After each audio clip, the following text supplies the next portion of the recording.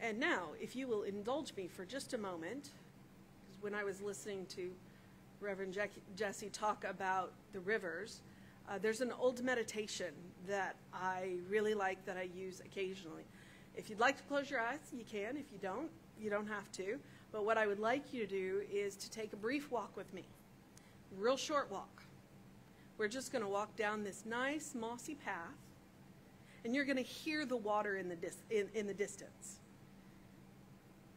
And as we're walking down this path, the water's going to get closer. And you're going to feel that, that misty breeze that you only get around waterfalls. Now the good news is, is when you get to the water, it's not deep. It's only about ankle deep. So I encourage you, if you'd like to, to step into the water because you might find yourself magically barefoot now. And feel the, the water as it courses around your ankles.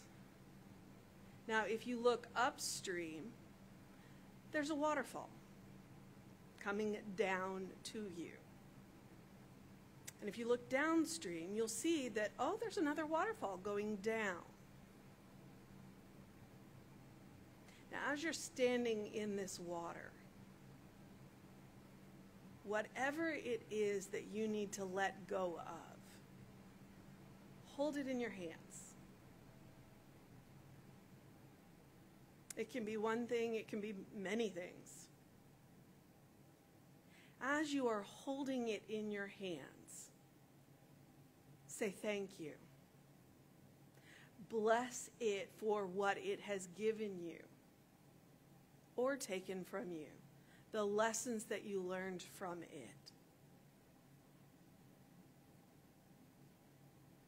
And then drop it into the water and watch it as it eddies along and drops over that waterfall downstream to be carried away. It is not coming back. You have let it go. Now, if there is something that you would like to bring into your life, turn upstream to that little waterfall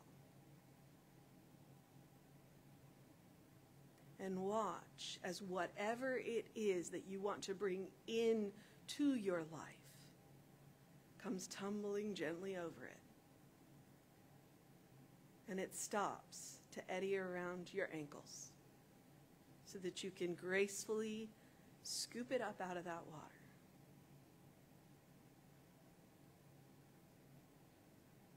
And if it's not ready yet or you're not ready yet, that's okay. Because this place exists in your heart.